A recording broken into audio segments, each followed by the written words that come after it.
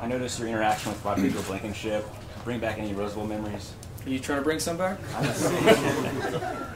know you, Kyle. You're trying to stir shit up. That's all. Thanks, God.